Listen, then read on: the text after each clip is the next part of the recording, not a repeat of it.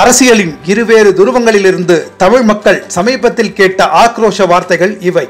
சீண்டி பார்க்காதீர்கள். ஒன்று செந்தில் பாலாஜி கைதை தொடர்ந்து தமிழக முதல்வரும் திமுக தலைவருமான மு க ஸ்டாலின் அண்மையில் வெளியிட்ட காணொளி தொகுப்பில் இடம்பெற்ற வார்த்தை. எதிர்க்கட்சி தலைவராக இருந்தபோது செந்தில் பாலாஜி ஒரு ஊழல் பேர்வடி அவரை கைது செய்ய வேண்டும் என்று வைத்த அதே கோரிக்கையை அமலாக்கத்துறை நிறைவேற்றிய போது அவரை சட்டவிரோத பண பரிவர்த்தனை வழக்கில் கைது செய்த போது அதுவும் உச்சநீதிமன்ற வழிகாட்டுதலின் பேரில் எடுக்கப்பட்ட நடவடிக்கையின் போது அந்த நடவடிக்கையை எதிர்த்து மு ஸ்டாலின் வெளியிட்டுள்ள காணொலியில் இடம்பெற்ற வார்த்தை. இனிவரும் அந்த காணொலியை கொஞ்சம் கூர்ந்து கவனியுங்கள். உருட்டல் மிரட்டலுக்கெல்லாம் பயப்படுறவங்க இல்லை திமுக காரங்க சுவத்தில் அடித்த பந்து திரும்ப வந்து முகத்தில் அடிக்கிற மாதிரி தான் ஒவ்வொரு திமுக காரனும் வளர்க்கப்பட்டிருக்கான். நேற்றுலேருந்து சமூக வலைத்தளத்தில் பார்த்துக்கிட்டு இருக்கேன். நிறைய கழக உடன்பிறப்புகள் தலைவர் கலைஞர் பேசின ஒரு வீடியோவை போட்டுட்டு இருக்காங்க. என்னை யாரும் அடிக்க முடியாது.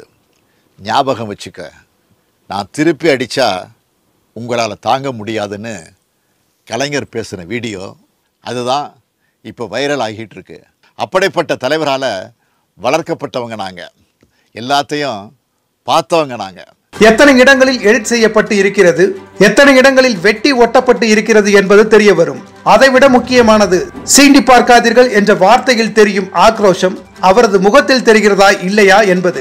இன்னொன்று நேற்று நடந்த ஊடகவியலாளர்கள் சந்திப்பில் குஷ்பு பேசிய என்னை சீண்டி பார்க்காதீர்கள் தாங்க மாட்டீர்கள் என்ற அதே வார்த்தை. சிவாஜி கிருஷ்ணமூர்த்தி என்கிற திமுக பேச்சாளர் தமிழக ஆளுநரின் தாய் உட்பட குஷ்பு என்று அனைவரையும் தரம் தாழ்த்தி பேசியதால் கொந்தளித்த குஷ்புவின் வார்த்தைகள். குஷ்புவை சிண்டி பார்க்காதீங்க. திருப்பி அடிச்சா தாங்க மாட்டீங்க.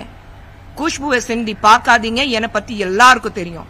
குஷ்பு தானே போனா போதும். இன்னைக்கு பேசுவா நாளைக்கு மறந்துடுவா குஷ்பு மறக்க மாட்டான். மன்னிச்சிருவா. ஆனா மறக்கிற புத்தி குஷ்புக்கு கிடையாது. ஸ்டாலின் அவர்களை உங்க கட்சியில அத்தனை பேரும் திராவிட முன்னேற்ற கழகம் மட்டும் இல்ல இங்க இருக்கிற அத்தனை பேர்கிட்ட நான் சொல்றேன். குஷ்புவை சிண்டி பார்க்காதீங்க. அதுவும் திராவிட முன்னேற்ற கழகம் குறிப்பாக நான் சொல்லணும். முதலமைச்சர் ஸ்டாலின் அவர்களுக்கு இந்த மெசேஜ் இந்த தகவல் நேராகவே போட்டோம். அவர் கண்ணு பார்த்து பேசக்கூடிய தைரியம் எனக்கு இருக்கு. உங்க கட்சியில சேரும்போது உங்க தந்தை முன்னாள் முதலமைச்சர் மதிப்புக்குரிய மரியாதைக்குரிய கலைஞர் அவர்கள் என்கிட்ட சொன்ன விஷயம் மேடை நாகரிகம்னு ஒண்ணு இருக்கு. அது எப்பவுமே பாத்துக்கங்க உங்க கட்சியிலிருந்து இன்னைக்கு பொம்பளைங்க பார்த்துட்டு இவ்வளவு கேவலமா பேசிட்டு இருக்காங்க. ஸ்டாலின் அவர்களே நீங்க அதை ரசிச்சிட்டு இருக்கீங்க உங்க கட்சியில் இருக்கிற அத்தனை பேர் உட்காந்து ரசிச்சிட்டு இருக்காங்க இதோட நிறுத்துங்க. இதுக்கப்புறம் குஷ்பு பதில் கொடுத்தா உங்களால தாங்க முடியாது. குஷ்புவின் பேச்சின் வீச்சில் உள்ள உளப்பூர்வமான உஷ்ணம் தாங்காமல் உடனடியாக சிவாஜி கிருஷ்ணமூர்த்தி கைது செய்யப்பட்டதோடு திமுகவிலிருந்தும் நிரந்தரமாக நீக்கப்பட்டிருக்கிறார். எத்தனை நாட்களுக்கு இந்த நாடகம் என்ற கேள்வியும் மக்கள் மனதில் எழாமல் இல்லை. ஏனென்றால் ஏற்கனவே இந்த மாதிரி பேசி திமுகவில் இருந்து தற்காலிகமாக நீக்கப்பட்டு மீண்டும் கடந்த ஜனவரியில் திமுகவில் இணைக்கப்பட்டவர்தான் இந்த சிவாஜி கிருஷ்ணமூர்த்தி. குஷ்புவின் கொந்தளிப்பில் குறிப்பிடத்தக்க ஒரு செய்தி இந்த சிவாஜி கிருஷ்ணமூர்த்தி போன்றவர்களை திமுக தலைமை தீனி போட்டு வளர்க்கிறது என்பது. மு ஸ்டாலின் அடிக்கடி சொல்கிற திராவிட மாடல் இதுதான் என்பது. ஸ்டாலின் குஷ்பு இருவரும் சொன்ன சீண்டி பார்க்காதீர்கள் என்ற வார்த்தை சொல்லும் செய்தி என்ன? அதுதான் முக்கியமானது. ஸ்டாலின் பேசிய வார்த்தைகள் எடிட் செய்யப்பட்ட வசனங்கள். குஷ்பு பேசிய வார்த்தைகள் அவரது இதயத்தில் இருந்து எழுந்த வார்த்தைகள். செய்தியாளர்களை பார்த்து நேரடியாக கொந்தளித்த வார்த்தைகள். எழுதி கொடுக்கும் வசனங்களில் உயிர் இருக்காது. உள்ளத்தில் இருந்து வெடிக்கும் வார்த்தைகளில் போலித்தனம் இருக்காது. இப்போது மீண்டும் ஒருமுறை ஸ்டாலின் குஷ்பு இருவரின் பேட்டிகளையும் உங்கள் மனத்திரையில் கொண்டு வாருங்கள்.